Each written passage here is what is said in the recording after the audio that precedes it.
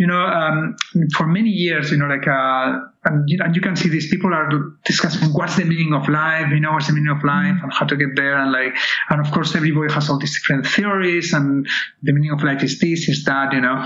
But, um, you know, the meaning of life, um, I've come to, to understand it is not something to, to, it's not something to come up with to mentally as a proposition is something is something to feel you know um, in spanish uh, meaning of life is sentido de la vida sentido means sentir is to feel mm. so something that you feel or you don't feel and um, and it's basically um, the more the more connected we are to the energy of life mm. that kind of creative energy you know uh, the more life has meaning intrinsically. So if you're really connected to that energy, the very question that life has a meaning or not doesn't even arise in your consciousness mm-hmm. because life is meaningful. You feel it.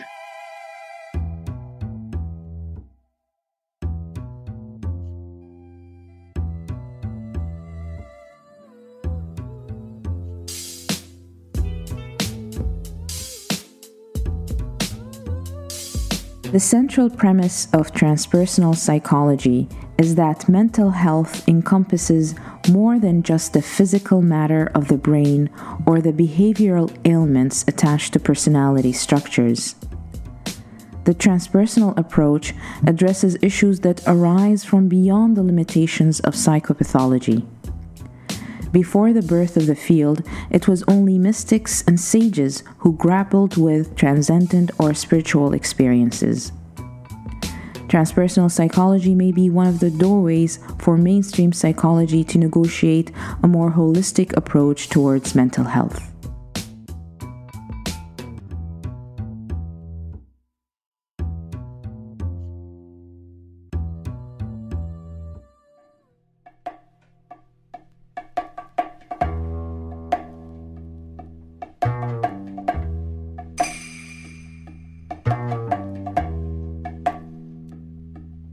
To the Soulspace Podcast. We are your hosts, Adrian and Thal. On this episode, we are joined by Jorge Ferrer. Jorge is considered one of the main architects of second wave transpersonal psychology, and he's best known for his participatory approach to spiritual knowing and religious pluralism. He is an international lecturer and professor at California Institute of Integral Studies. We explore non ordinary states of consciousness, embodied spirituality or bodyfulness, plant medicines, and the need for more cross pollination between spiritual traditions. Well, let's get into it. It is our pleasure to bring you Jorge Ferrer.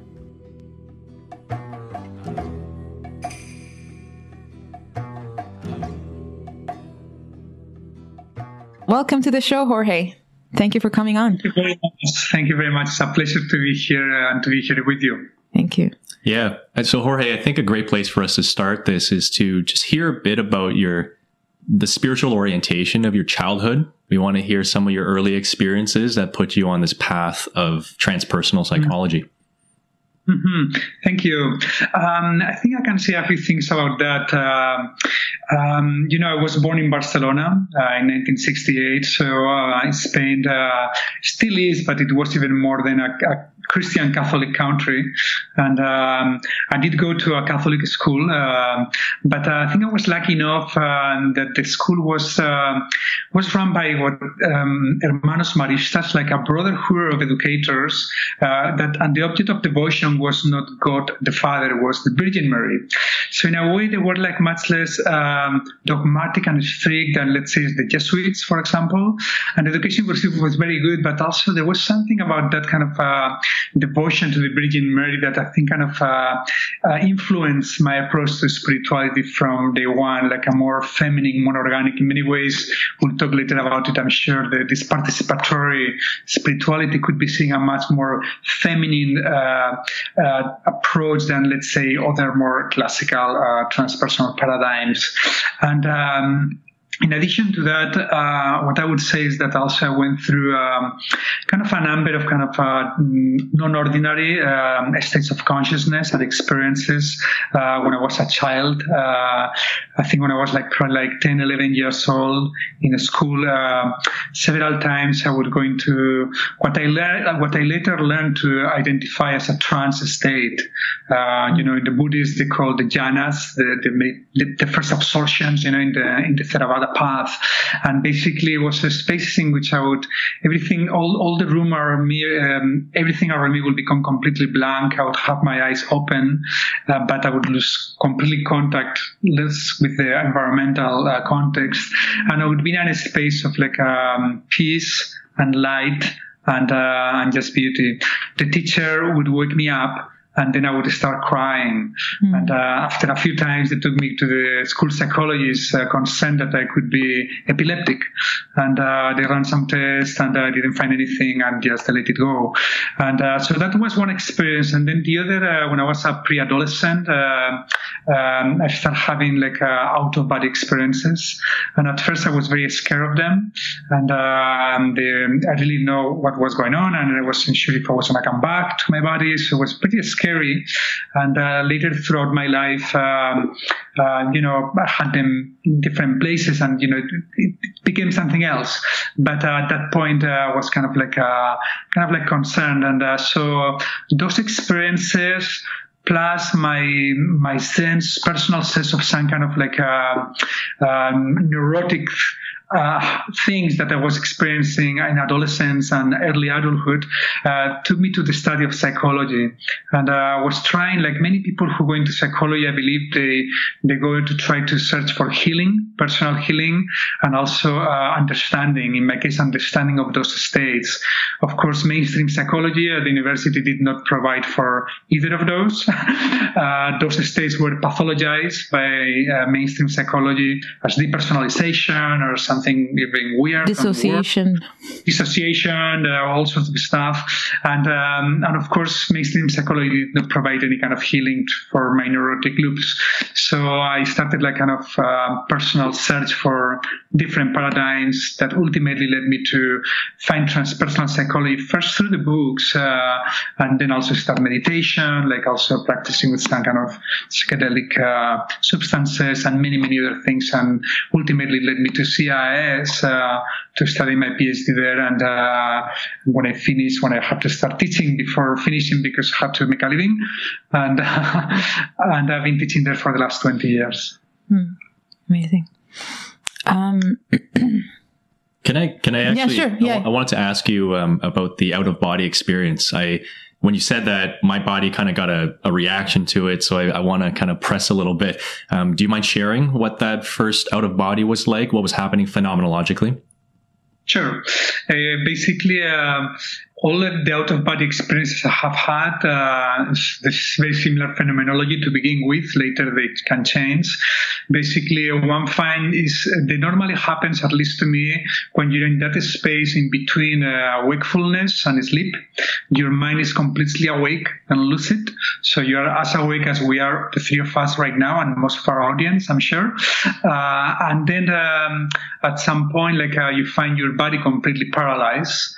So your body, you cannot move it. It's kind of paralyzed. And then kind of like an energy, uh, you can hear it. It's like a, like a, zzz, like a zumbido energy start like, like in waves mm, mm, mm, until suddenly you find yourself out of the body.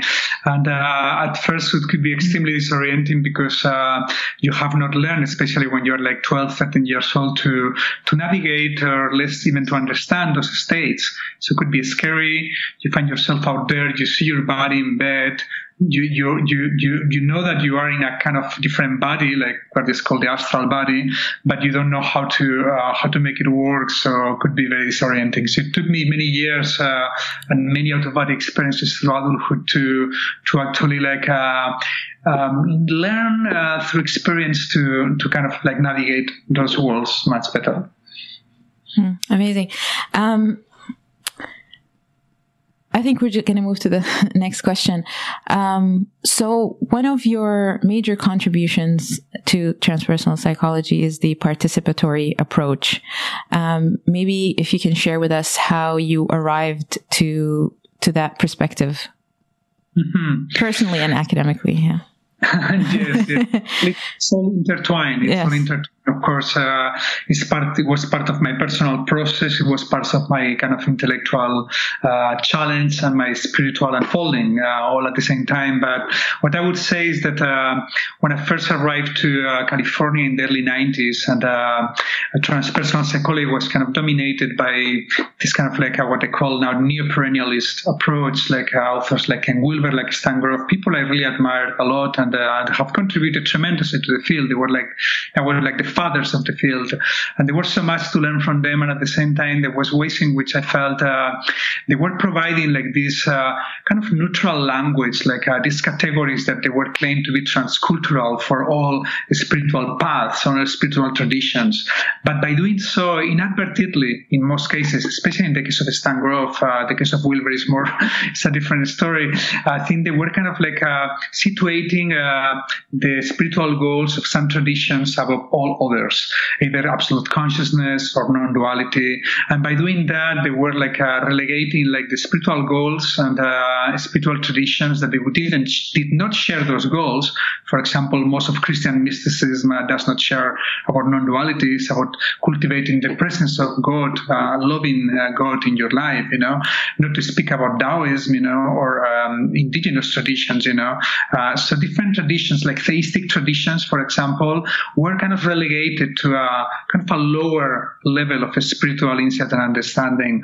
So that was in part part of my initial reaction to that, and at the same time. Uh, I don't know, there was like a lot of kind of uh, very emphasis in the transpersonal psychology movement in that times about reaching a states of consciousness, right? Mm-hmm. Uh, like subconscious was the panacea, you know, like mm-hmm. uh, it, everything was focused. And People were still fascinated, you know. I mean, we need to understand, like, uh, for many decades, like, uh, you know, spirituality in the states where, um, where you know the transpersonal movement was born had been dominated by very kind of uh, problematic forms of Christianity. Mm. So then uh, the, in the late 60s and mid 60s, you know, the, psychedelic, the psychedelics came in and Eastern traditions and Eastern gurus came into the West, you know, and at the same time, um, there was a humanistic psychologist speaking about big experiences and, and um, you know, further reaches of human, human nature. And I think the confluence of these three factors like give birth to a transpersonal movement with its, this emphasis in this kind of higher sense of consciousness. And so most transpersonal psychologists of that time, they were very busy mapping those states, and they still are, many of them. And that's still an, an, very valuable task. But for me, like the participatory movement, like uh, it's not a substitution of those of that first wave. It's kind of an expansion. It's like bringing all that down to earth. It's mm-hmm. like what does it mean the live in relationship mm. with other human beings, with societies, cultures, uh, diversity, and uh, the ecological crisis, our political situation, and so forth. So it's really about really like uh, democratization of spirituality, and also about like really affirming a plurality of spiritualities. Uh, there is no single uh, sequence of or paradigm model that is going to encompass all traditions in a way that is not ideological, uh, especially when you situate situate them in an evolutionary continuum or developmental continuum, as all those transpersonal early psychologists were doing, you know. So the, the participatory movement is like a, emphasizes more like embodiment, you know, and also like um, um, relatedness and also kind of like the, the inquiry, the creative inquiry dimensions of spirituality. It's not so much necessarily about rediscovering the truths that were already found by the old sages and teachers, but also, but also about co-creating your own spiritual path. Mm-hmm.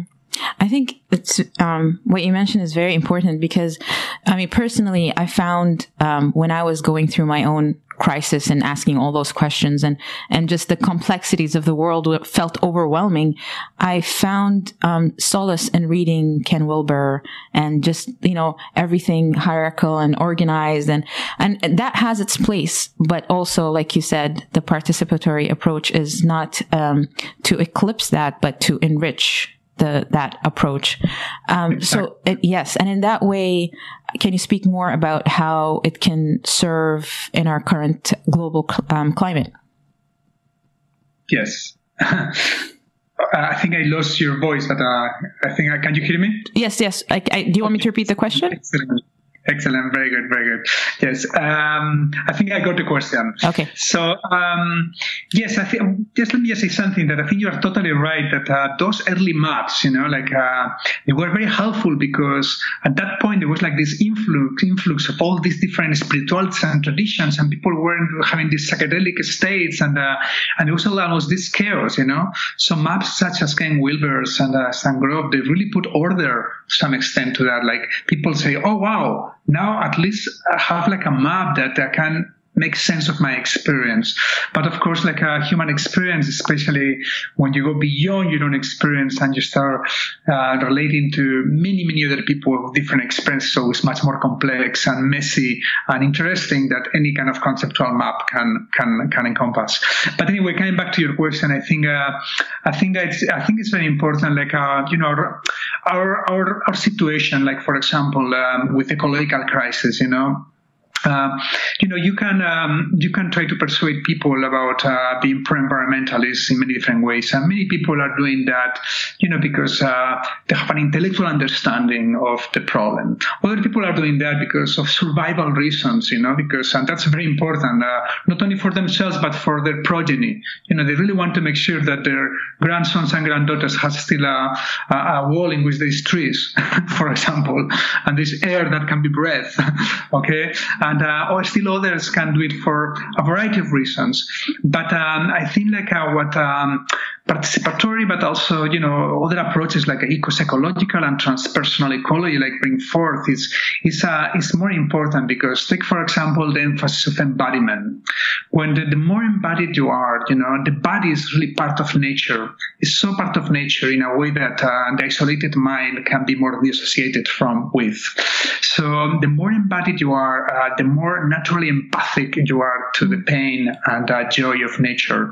So therefore, uh, becomes something more an existential imperative.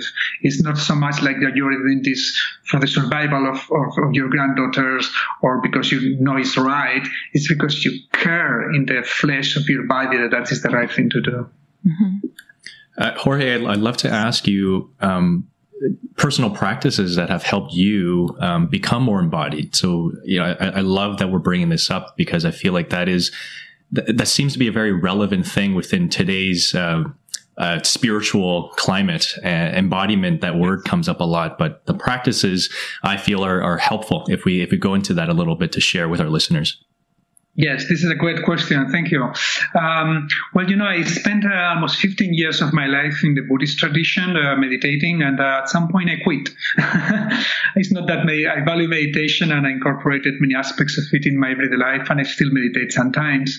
But at some point, uh, as some even like Buddhist teachers today, like uh, Reginald Ray and many others, have brought these critiques of meditation as a potentially disembodied practice. And uh, mm. of course, all depends how you meditate, right? But uh, there is a way in which people can really spend a lot of time in their minds and consciousness. And uh, and of course, in many of the traditions like uh, meditation, I'm thinking about Buddhism. You know, originally was also about like really, you know, the body was something to be left behind. You know, not to speak about sexuality, and uh, and it was about really cultivating the more subtle dimensions of the heart and the states of consciousness. You know, and of course, in India, in the Indian matrix, liberation was understood as something to escape samsara, to escape the body, to escape this phenomenal natural reality reality but it doesn't leave you many resources for environmentalism. But that's a different issue. Mm-hmm. um, so for me, after many years of that practice, I was at the same time uh, already experimenting with like uh, secret uh, plant teachers and um, ayahuasca and mushrooms, and in particular San Pedro, that is my main plant teacher. And San Pedro in particular brought this very strong dimension of embodiment because San Pedro doesn't, it's not a, it's not a plant that takes you to this kind of like uh, inner journeys and different walls, spaces, and subtle walls that could be very fascinating, uh, fascinating and very interesting and important. Uh, but it's a plan that teaches you how to be more embodied here and now. Um, from being here and now, you open the to so to speak, like the, the windows and the doors of your home, mm. of your body, to all those other realities, but without leaving home, so to speak. And uh, also um, another practice that was very influential to me was like um, um, interactive embodied meditations. Uh, comes from a work called holistic transformation that, that I used to uh, co-facilitate in Esalen Institute and in other places. And uh, it's basically a, a work that um, people come together and they practice meditation uh, uh, in in relationship with each other and in physical contact with each other. So it's a way in which you bring kind of like the mindfulness practice into physical contact to the body, and I think that's very powerful. My sense, uh, there are many works now that uh, are very cutting edge, and I think that my sense that the, the most cutting edge works are those that integrate somatics, the body, and spiritual consciousness, mindfulness, and uh, you know, uh, in the last only the last couple of years, a few books came out about uh, bodyfulness. You know, that is a term that I actually coined myself in 2006 uh, to speak about not so much mindfulness of the body, but about the kind of awareness that can emerge from the body itself. Mm. Like imagine, like you know, the big cats of the jungle. You know, they, they they are not intentionally trying to be alert, but they are extremely alert, much more than human beings. Mm. I can't see much more, but maybe I'll leave it here so we can can go wherever you want me to go. Actually, uh, that's something that we can explore further. I mean, just comparing um, the word mindfulness to bodyfulness is is interesting because mindfulness can be a way where people become even stuck more in their mind and forget their body, and yeah. and you know, and then I'm thinking about the term spiritual bypass and how you know instead of using spirituality to become more integrated and aware, we can use it to just escape our our our, our body, our humanity.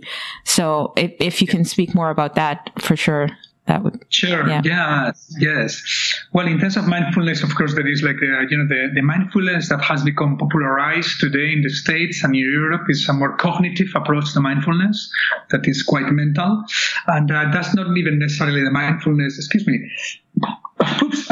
not necessarily the mindfulness that was cultivated in uh, Buddhism, uh, in other traditions, uh, has many differences, as many many Buddhist scholars have pointed out today. But um, but in any case, um, um, in terms of the spiritual bypass, uh, just so, I'll just explain, just uh, in case the audience don't know what this term means. Spiritual bypass means, in particular, when when one kind of like uh, goes into spiritual practice or teachings, and in order to to uh, to avoid facing psychological issues. I'll give a couple of examples. For example, someone who has a lot of issues about anger, um, you know, anger towards their parents, anger towards the world, whatever, you know, they can very feel feel very drawn to practice Buddhism because uh, you know they, they you know they emphasize the no expression of anger at any moment, and also the equanimity and like being super super super peaceful all the time, you know. Or someone, for example, that has like a sexual blocks or issues around their sexuality, they can become drawn to a tradition that emphasizes celibacy. Is that a solution? I don't think so. Uh, in the best cases, they can transform some of those energies in positive ways, and that can happen as well. But I think path really do the psychological work, the psychosomatic, psychoanalytic work to heal those sexual blocks, to to really clean your uh, the, the, anger within yourself, and to forgive your parents, or forgive the world, or whatever your anger against, and then from from that solid foundation, like build your spiritual practice. Mm-hmm. So definitely, the psychological growth and the spiritual growth go in tandem. We can't separate both. That's a mistake that I've done in my life. So learning slowly. Um, another another um, uh, um, if I may say, if I may sure. just interject uh, just a second, I mean, ideally they should go in tandem, but many times they don't, right? And uh, and we see this all the time, uh, you know, with, for example, spiritual teachers, you know, that uh, they're, awake or they have certain awakening, for example, in their consciousness and even in their hearts, but um, you know, they get into all sorts of sexual scandals, right? right? And uh, they and, and I think unethical behavior and, and power gains, right? So um, this is really speaks to uh, to the fact that uh, although they should go in tandem, ideally, they, they very often they do not. Yeah. So you have people who have like you know like I know many shamans who, who are masters of the psychic realm, and they can be tremendously gifted healers. They're real shamans. Let's not be wrong. This is very important. They're real shamans. They're elders in their communities, and at the same time, they you know they, they have start doing ceremonies with uh, Western women, but they also have transference towards them, and they also make this like a there could be a mutual way street dirt energetic, but still and then they lose their they lose their papers. You know, they start kind of like um, you know um, sexually harassing them, or in the worst case scenario, abusing them or using their power. You know, so this is very unfortunate, and that is what is so important uh, that we affirm and we encourage this kind of integrated spiritual growth that includes. Uh, not only just the heart and consciousness, but the body and sexuality in particular. Uh, it's not the same uh, to become mature mentally or emotionally than to become mature sexually and, and, and somatically and so forth. I, I love that. I, I want to ask you, um, I'm just thinking if someone's earnestly trying to develop spiritually, they're in, involving in practices, learning from different, you know, people, reading books. What are some helpful signs that they might be on a disintegrated path, right? So what might that look like? Um, because we're all vulnerable to it. I don't want to sit here pretending like, you know, that we can just talk about these things as if we're outside of it. You know, I think we're the first to, to admit that we are all susceptible to disintegration or disembodiment what does that look like? What are some telltale signs? And and the work never ends really. Like it it's constant and it's it's something that we were talking about too before starting the podcast with you is that the the I'm thinking about the Jungian concept of the shadow and it's like the more the more you work on your spirituality, your light, quote unquote, then you're you still have to be aware of your shadow and, and the dark, quote unquote. Yes, yes. Um, you know, I, I have a um, um, qualification around that because you know there is a, you know, as the saying goes, you know, the greater the light, the greater the shadow. Yeah, yeah. I don't totally believe that. Okay. Uh, that's the case only in those cases in which the development has not been integrated. In the development, it has been a lot of spiritual development, a lot of light and consciousness, mm-hmm. but there has not been like a deep psychological work going together. If a person is developing spiritually and also has uh, been doing a lot of depth psychological work, I don't think that the greater the light, the greater the shadow, uh, even though it's kind of a nice saying that makes kind of intuitive sense uh, because, you know, uh, light and shadow go together. In, it's in a our, clean box, Jorge. Why break it open? but unfortunately, unfortunately, in many cases that's the case. But that's I think right. that's a sign of this kind of more, more dissociated, uh, dissociated forms of spirituality, in which people are just developing in some areas and not in others. Mm-hmm. Right.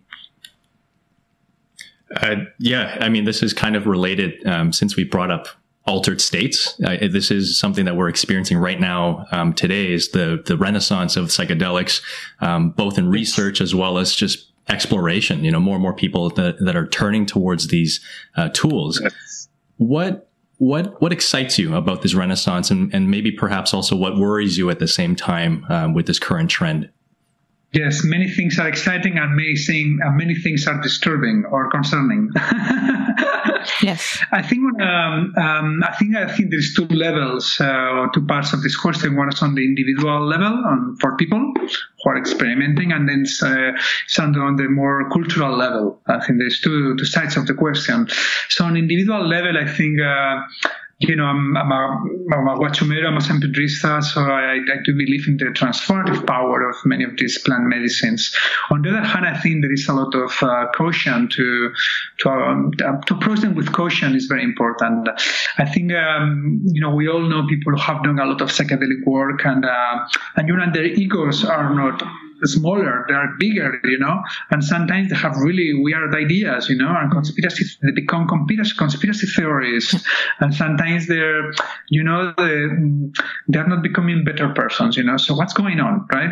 So I think it's a mix of um, several factors. One is uh, the baseline of the person, the kind of character, if like someone with a lot of uh, narcissistic wounding and, uh, let's say, a borderline personality or other things, starting the psychedelics, you know, without doing the psychological healing work that needs to do, more chances that uh, something can go wrong, more chances that it can become inflated or messianic or just or just you know just not not as good persons as they could be.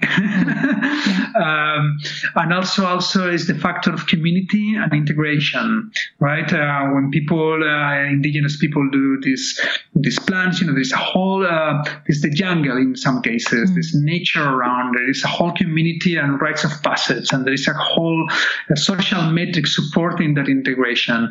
And even in those cases as we were saying before that does not warrant that a shaman is going to be ethical or it's not going to be a sexual harasser. Okay, so things are very delicate, and um, and also the community. I think the importance of community, and I'm not saying just a community, the community of peers. You know, the community of peers, the community of people who are going to tell you, uh, uh, frankly, if they're your good friends, they're going to tell you like Jorge, you have been doing San Pedro for all these years, but uh, you know, I don't see you becoming more available to to to life or to to people. I I think I see you even a bit more self-centered than you were before.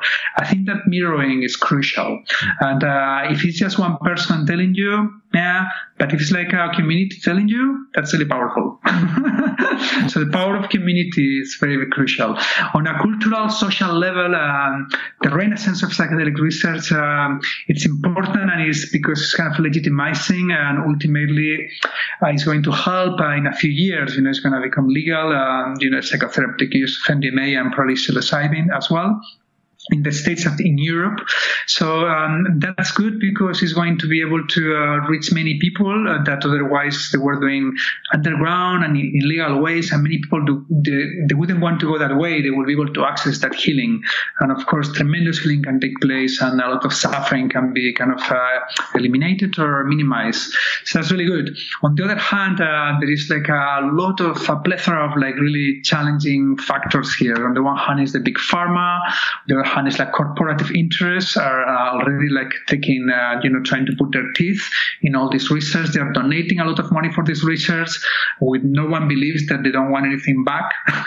um, so um, people who are in those organizations, especially MAPS and others, are very aware of these things, and at the same time they are kind of they're kind of like um, you know walking the razor edge, mm-hmm. I would say. Um, and also um, there is the cultural dimension. You know, uh, I've talk with uh, shamans and people from different cultures, you know, from the Mazateca or from that they have been using the Martians, for example, for many years. And uh, and when they hear that, um, you know, the you know the establishment, the medical establishment is going to take that that kind of like sacrament from their plant, psilocybin, and medicalize it and and just sell it and and everything. Uh, and there is not much um, even uh, credit or honoring of the tradition or all the wisdom that they have. Of course, they are not very happy and I think with some good reasons. Yeah, and you know, I, I, you know, you're just talking about that. I'm thinking you, are talking about the plant teachers, and I'm wondering how, how, how can we, or or I don't know, I don't know how to put the question, but I'm thinking we bring the plant teachers. If we if we bring the plant teachers here, can we still have that the the sacred that element of the sacred? Are are we also appropriating yet another indigenous method of healing. I mean, uh, what are your ideas around that? Yes. Well, um, you know, I do work with uh, plant medicine uh, after spending 12 years uh, right. going to Peru and uh, kind of belongs to a kind of a lineage there. So uh, was passed to me. But at the same time, I'm not a native. I'm not a mestizo. I'm not a Peruvian. And, of course, San Pedro is different because there is not like such a long tradition as Hashim's Mazatec so even with with Shipibo, although um, even those traditions are less. Um, sorry, Jorge, we, we lost you. Sorry, yes. we, we, lost you for a minute when you said something important about San Pedro. Can you repeat that, please? Thank you. Yeah, with San Pedro in particular, is not such a the tradition is lost. Right. Uh, so it's not it's like a holders of tradition is is more disseminated, but with other plant teachers it's different. I think it's a very delicate thing because mm-hmm. on the one hand, I'm a, I'm a big uh, um, you know, I would love uh, as many people as possible in the world to benefit from those teachers. I believe those the plant teachers themselves, the, the plants, the intelligence of the plants, they want also that. They mm-hmm. want to give, and they don't care if they're giving to to the natives or to Westerns. They want to just give to everybody because they are like a, uh, um, in sentient intelligences um, uh, from from Earth, you know. So um, they want just to benefit all sentient beings. On the other hand, there is uh, the, the, the, the perpetual issue of colonialism, right? When when a culture has been colonized, when when their women have been raped, uh, where, where their lands have been taken off, where by the Western people, you know, and then now they are taking their sacred masons. Mm. That's that's of course is going to be always like an area contested area, and with a lot of understanding. I think like the, in the best case scenarios, and it's happening sometimes, but not always. Um, some kind of like a, a dialogue with the people from those traditions could and should take place. The credit should be given to them. Uh, some even compensation. Many of these people are just living in misery. So mm-hmm. um, something that uh, they are also happy, and then they will be also more willing to share their wisdom. You know, mm-hmm. and of course, uh, their willingness to share their wisdom, the way they use the plan is their own uh, right.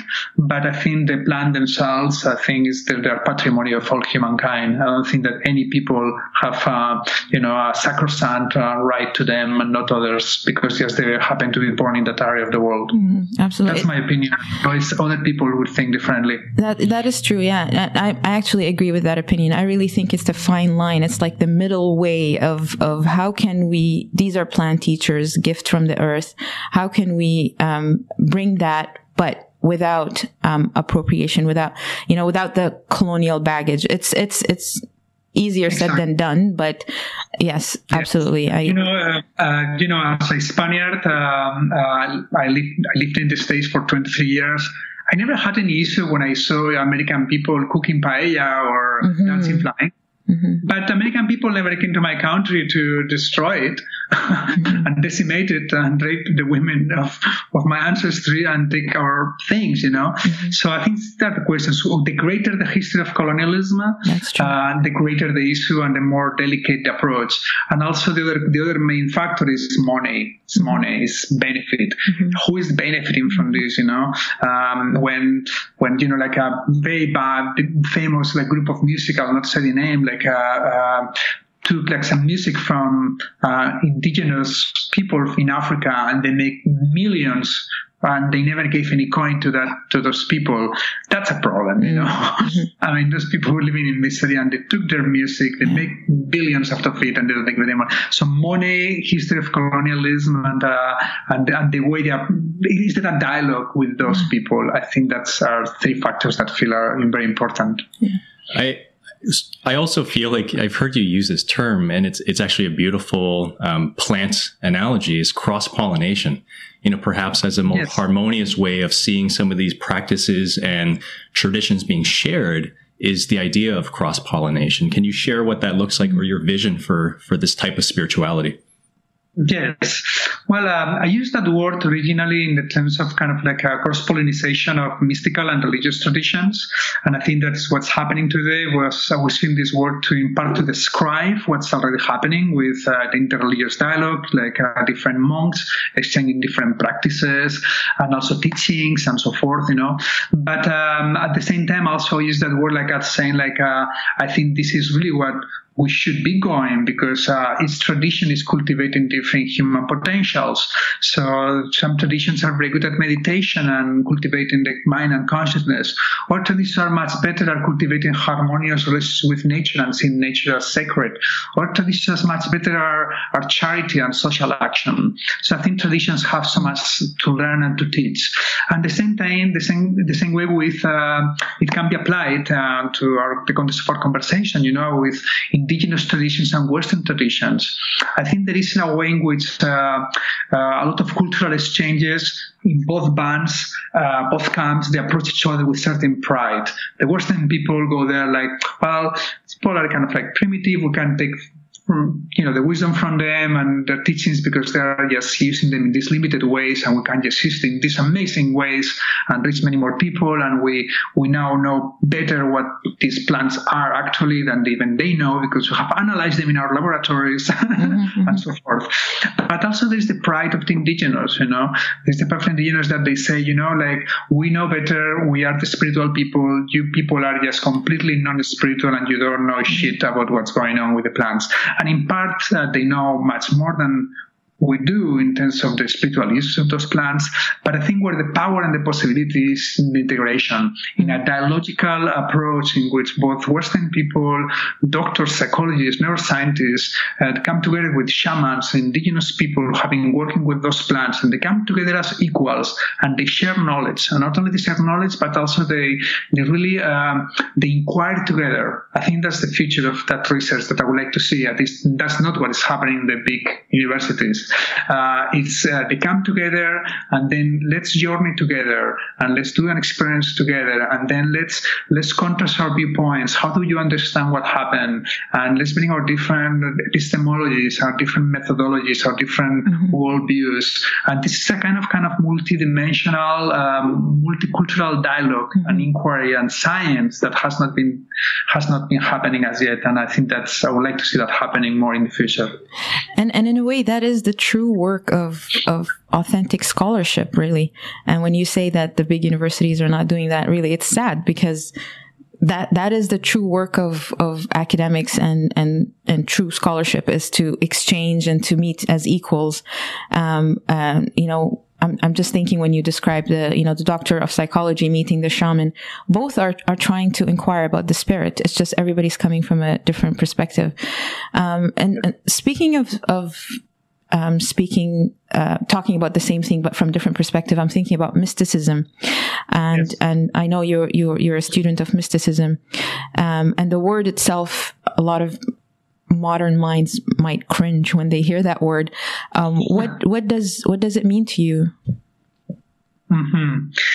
Well, um, it's, uh, it's, it's a very it's a tricky question. mm. um, you know what? For me, it means many things. Uh, that's why, because, um, you know, I'm a student of mysticism. I've been teaching mysticism, comparative mysticism for many years. So I know the history of the word. Uh, I know the, the different meanings the word took throughout the many centuries, coming from the Greek matrix through Christianity. Something to understand that is important, I think. And I'll, I'll go back to your question about what it means to me in a 2nd mm-hmm. But something that's important to understand as a preface is that um, the term mysticism is a Western construct. It's a Western term. So it's a term that was later exported uh, um, by Western scholars, mm-hmm. Christian scholars, to understand other traditions um, that they were talking about spiritual access to spiritual entities or realms or realities and, and so forth. But uh, for example, most Buddhist scholars would, would wouldn't wouldn't like the traditions to be called a mystical tradition. D.T. Suzuki, one of the most famous Buddhist scholars who popularized Buddhism in the West, was completely against the use of mysticism mm. to uh, qualify Buddhism. Um, most indigenous people I know, they would say mysticism. Yeah. What is that? That's not what we do here. Yeah. We're about healing, about balance, about something else, but not about nothing mystical here. Right, right. right? And, and so, this is yeah, and yeah. Sorry, yeah, yeah go ahead. All, yeah. No, yeah, all that being said, what it means is that the term mystical uh, has many different meanings and uh, it's a contested category. And um, but in, in generally, uh, generally, generally speaking, what it meant, uh, it was talking about something about direct, direct contact, direct access to um, um, a reality and that uh, is beyond this natural world that uh, we normally see through our senses and science can study, or uh, a deeper dimension of this world that we can see right? There is nature mysticism, for example, you know, and there's other forms of mysticism that more speak about like, you know, uh, dimensions of consciousness or contact with the divine, God in theistic traditions and, and so forth, you know. Um, so all that being said, like for me, like, uh, um, uh, my, my personal, personal thing, uh, account of mysticism or the way I hold it is would be more about like a, kind of like an integral uh, experience uh, of life and the cosmos in all its multidimensionality. So not only this kind of dimension of uh, the natural world, but uh, different kind of subtle realms as well, and everything that is uh, encompassed by the world cosmos in its depth and, and, expansion. So kind of an integral experience of that. And different mystics and different traditions, they would they would access different dimensions of that. But also, it's not a question of access only; it's a question of kind of creative enactment. So. Um, um, and this is part also of the participatory paradigm, right? It's not only about like uh, accessing realities that already exist, mm. but they do, but also about co-creating with that kind of generative mystery, um, you know, and, and with by that mystery, what I mean is like that kind of uh, creative force, you know, that is behind the unfolding of creation, right? And uh, and I think that we we participate as human being, beings because we are part of that creation in that creative force. So in, in, connection with that creative force, we can also kind of like co-create uh, spiritual uh, insights and practices and even perhaps new, new realities. Mm-hmm. And I think that what has been happening uh, from the from the beginning of the history of hum, humankind. And in a way, that's bringing it to the practical, right? Like even when we're talking about the plant teachers, they do take us into those quote unquote mystical um, experiences. But really, the the true work is after the ceremony, after the, you know, like it's not just to access those different realms, as you said, it's to bring it back into the everyday, the realm of the everyday. I, I feel kind of I want to ask you a maybe not so practical question, uh, purely just for my own curiosity. Um, it is there an ex- and I know you're not a fan of putting things into hierarchy, so I'm I'm going to preface by asking this is purely just for my my own interest here. Um, is there a mystical experience that you're comfortable to share that really stands out as the most confusing thing that doesn't kind of fit you know a lot of um, rational understanding um, that maybe, maybe that is to me is is is is actually there is a practical element. It's sort of the, the humility that, that brings, you know, that brings it kind of brings you back, you know, to a place where like I don't know, I don't know what the heck just happened. Is there something you can kind of share on that note? Yes, I'm sure. Yes. Well, um, my sense is that um, I'll just say something like my sense that the you know this is the paradox, the paradox of knowledge. You know, even even the most uh, genuine scientists speak about that. The, the more the more you know, the more you realize the little you know. So I would say uh, the more experiences, even mystical experiences, the more explorations you have in the realms of consciousness, the more you realize the, the infinite dimensions that exist there.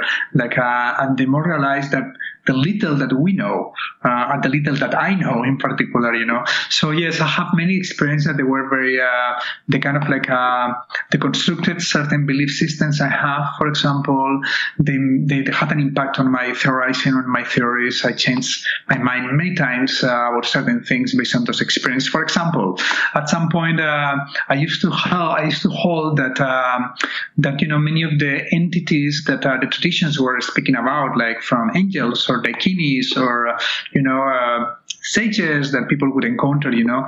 They were somehow kind of mm, human co-created by human consciousness in, in, in, connection with that kind of spiritual power, you know, up to a point in which I have myself certain encounters with uh, uh, sages and also astral doctors and uh, mm. different kind of disembodied uh, entities made up of energy and consciousness that they really persuaded me um, that they were kind of uh, autonomous. Mm. I mean, they were so far much wiser than I was. they were so much more, benign and benign and uh, that even my deeper self, I'm sure it is. Mm-hmm. And, uh, and most importantly, uh, they had tangible effects on my experience. For example, I once encountered a, a Taoist sage, um, like um, I could see him in front of my face, uh, and um, and uh, from a back he took uh, he was bringing gifts and every time he would take this kind of like a gift he'll give it to me with his hand in my direction and I'll experience a complete energetic uh, Shaktipat mm. transmission you know so it had like a tangible effect in like uh, in my embodied um, organism you know with astral doctors the same I saw them with an ayahuasca experience in which uh, they were moving throughout the room and they were healing people they were putting their their hands in their heart center and and vital center, like where the heart is. And when my turn arrived, when they put their hands there, they were like practicing like this extremely like uh, spiritual energetic surgery, like aligning the centers, like doing this very unbelievable. So you, you, I mean, you just feel like just want to cry and be just thankful to them. And uh, so anyway, I had like uh, some of this experience that like really. Um, kind of like help me to to reframe my view on that you know. And now i it's still a huge question you know. My sense that there is a lot of things out there that could be ascended masters there could be there could be like some post-mortem scenarios. And i don't believe there is just one post-mortem scenario. I think there are many possibilities you know. Some people say well religious pluralism is very good it's very beautiful but once once you die you will see who is true mm-hmm. you know the heaven or the buddha land or i don't believe so. Yeah. i think the post-mortem exists existence could be even much more complex and diverse than this one, and people could go to different places. But uh, but in any case, like there could be like some people who are ascended masters, people who have died and they are there working uh, uh, with us in different ways. But also there could be our um, uh, independent realms mm. with their own kind of um, um, entities uh, made of energy and consciousness, you know, that uh, they're independently from these realms, that they are not perhaps connected with humanity. Um, the only thing is like you know when you see like all the all the um, entities that the traditions uh, encounter, like the dakinis and angels, you know, they're very culturally shaped, right? Uh, they're very culturally shaped. So here there is also different interpretations. You know, some people say, well, um, it's because it's an archetypal manifestation that becomes cultural with the encounter, but the essence is, you know, unknowable, you know. So the same entity would appear as an angel to a Christian or as a Buddhist teacher to another. Um, I'm not sure that that works mm-hmm. uh, because the qualities are very different. Uh, the energetic qualities, the teachings are very different, the messages are very different. But um, but who knows? There are many possibilities. There is so much mystery there, and it's very exciting that we are all all co-inquiring into all those dimensions these days. Mm, amazing! Thank you for sharing that. I was transformed into another realm listening to you. Thank you. Yeah.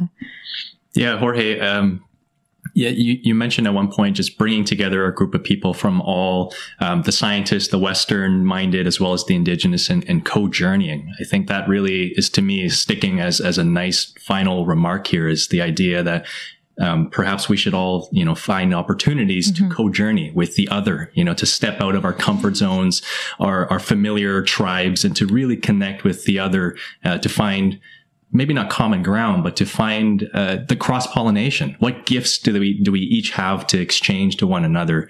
Um, yes. Yes, absolutely. And uh, of course, it goes without saying that doesn't mean that everybody needs to take a sacred plan or psychedelic. There are many ways to co-inquire and co-journey, right?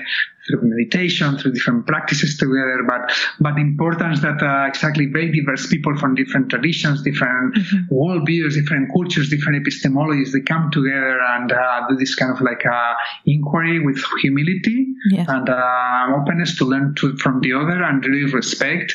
I think is like the crucial challenge of our times. Absolutely. Thank you. Jorge, thank you so much for your time today. Thank you so much. My, my pleasure. Thank you. Thank you very much. Thank you. Um, you're you're going to be at the conference, right? Asilomar? Yes. Yes. Yes. Are you, are you yeah, I'm going to be there too. So I'll see Excellent. you then. Yeah, yeah. And you? And you, Adrian, are you going to be there? Unfortunately, not. So I'll be I'll be in oh. class, I believe, that weekend. Um, but I, I did want to share this with you. So you, you just said something about ascendant masters and, and the mm. Taoist um, um, entity. So two weeks ago, I, I, I, I was doing a primal exercise with my therapist, uh, breath primal induced. And I, I had, I had a Taoist, I believe a Taoist entity, um, come with a bag, arrive with a stick and bag. And he traveled by cloud. Um, and he, he reached in and, and took out a gift. You know, it, it was a diamond. It was a, it was the brightest like diamond I've ever seen, and my body went into a reaction. So what what you receive there, I feel like this could be a common entity. Mm. Uh, this is this is radical. I didn't want to bring it up in the podcast, yeah. but this is something special. That's great. Yeah, that's really great. I'm really, I'm really, I'm really appreciate that you share that because I haven't heard those uh, from other practitioners. You know, I'm very. Um, it's funny because you know when when that happened, you know. I, had to study a bit of Taoism, but Taoism was never a tradition that I studied with any depth, you know. Mm. So at first, uh, because I had been studying Buddhism, I thought, oh, must be like a Buddhist Lama. And then the iconography, books. Oh, Islam Taoist, oh my God, that's the guy. You know, I could see like some some like iconography of the Taoist saints, and it was completely with his back and you know his barb mm. and like long bar is like wow. So it's like why a Taoist sits. Mm. what a mystery, you know. But, but amazing that they also had like this back and the gifts. That's mm. that's, that's, that's great. Well, yeah. speaking of the of the gift, was many times. may, may they return to us many times. Yes. Yes. Yes. Um, speaking of like gifts, um, I, I, did ayahuasca in Peru and it was the most amazing experience for me as a, as a, you know, as a Muslim woman and the experiences that I've had. I mean, I saw, I saw Christ on the cross and, you know, and I'm a Muslim. So like, it's, that's a different, like message that I got. I also, um, uh, you know, saw, um, the, the healer, the shaman that I was working with, like just give me this band uh, that has the Islamic Declaration of Faith, and just for me to wear it, like to wear it on my head. Wow. Yeah, and and and and even like even the people in the circle, we were sitting like some of us sh- had s- shared visions, like we saw similar messages, similar. I mean, I mean, I I think definitely the plant teachers are definitely a way of bringing our human like I, I it's the way of the future absolutely yeah absolutely this program you mentioned that's about like mm, something about meaning like bringing meaning and that's the goal or okay yeah right. yeah when we first got together we we had a hard time because we also don't want to to reduce it to one mission, but you know, sure, sure. one yeah. one way for us to get our message across is the meaning crisis to kind of refer it to as a as a as an overarching theme, you know, for all yeah. our conversations. You know, because because I read that I have a, a thought that I wanted to share. Sure. I don't know. we can include you, that later. Yeah later or not. You know, it's up to totally up to you. No pressure, but uh, absolutely. Um, you know, like uh, there's something about um, this kind of like crisis of meaning, right? Uh, today, and uh, it's very pandemic, and we see this uh, very tragically in our in our youngsters. You know, especially in so many young kids, you know, that have everything, you know, and like they still are meaningless and they're like hurting themselves and they commit suicide. There's something called the ungraying of mm-hmm. suicide. Uh, every time younger and younger people are killing mm-hmm. themselves. Mm-hmm. So this is this is huge. This is a great message for our culture, right? When our young people kill themselves because in a world in which they have access to everything, many of them are wealthy and they have, you know, whatever they want. So what's going on, right? So um, you know, um, for many years, you know, like, uh, and, you and you can see these people are discussing what's the meaning of life, you know, what's the meaning of life and how to get there. And like, and of course, everybody has all these different theories and the meaning of life is this, is that, you know.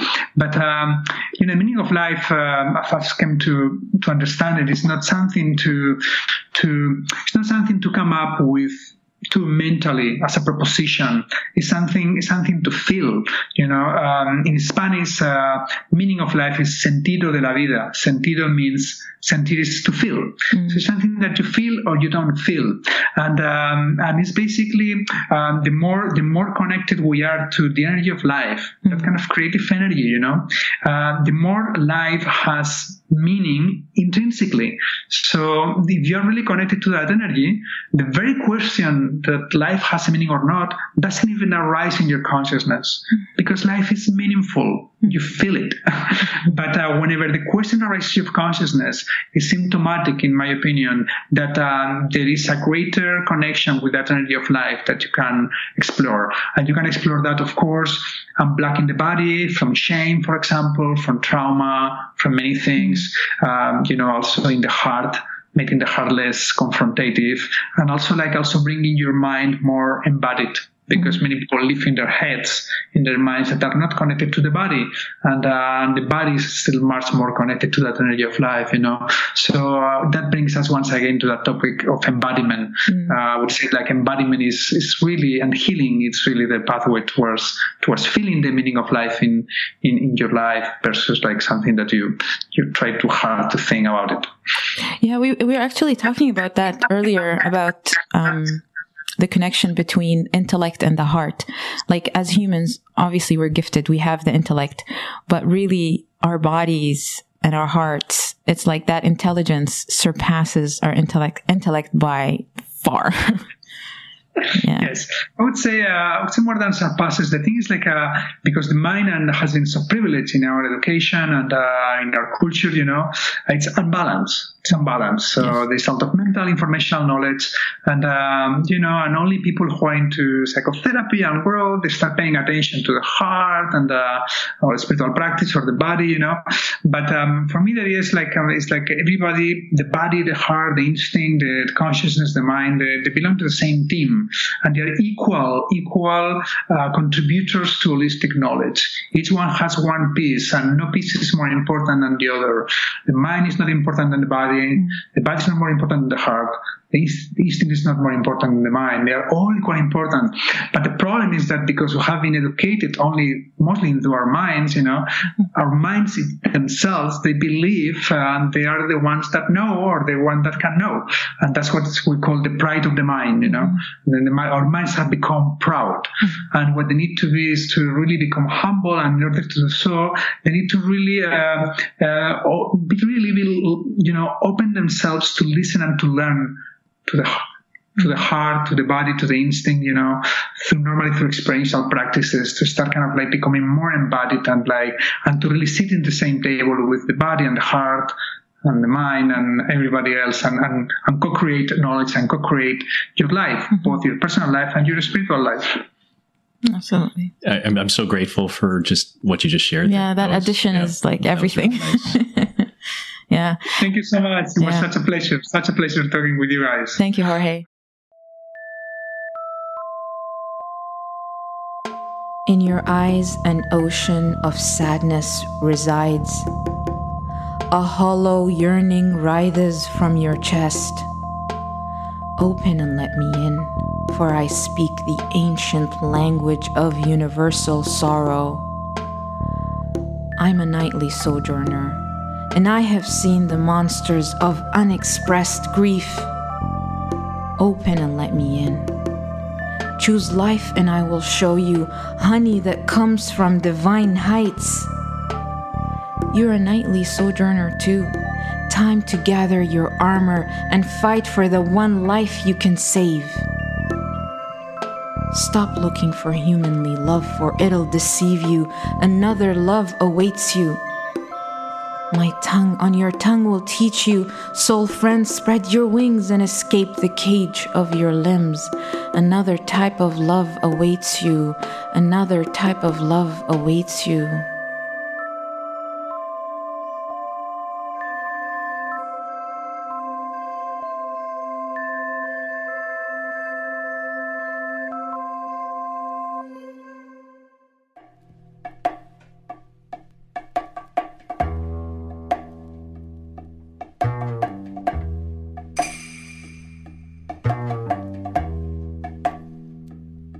Hope you enjoyed this episode.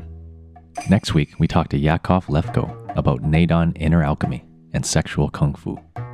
You can find links and show notes at soulspacepodcast.com. Please support us by leaving us a review on iTunes.